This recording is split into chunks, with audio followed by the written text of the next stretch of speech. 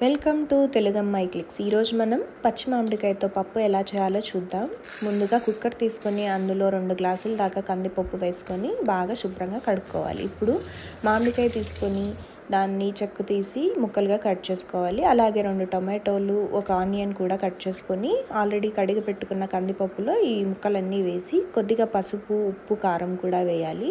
ఇందులోకి ఒక గ్లాస్ దాకా వాటర్ పోసి కుక్కర్ మూత పెట్టి మెత్తగా ఐదు ఐదు విధుల దాకా ఉడికించుకుంటే సరిపోతుంది. కుక్కర్ పూర్తిగా చల్లారిన తర్వాత మూత తీసి పప్పు గుత్తితో మెత్తగా రుబ్బుకోవాలి.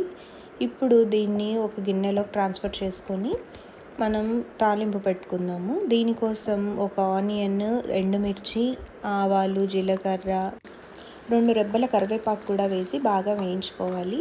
ఈ తాలింపు బాగా వేగాక పప్పులోకి వేసి అలాగే అందులో కొత్తిమీర కూడా వేసి బాగా కలిపి అన్నంలో కలుపుకొని వేయించిన వడియాలతో తింటే చాలా బాగుంటుంది. మీరు కూడా ఒకసారి రెసిపీ ట్రై చేసి ఎలా వచ్చిందో కమెంట్ చేసి చెప్పండి. Thank you for watching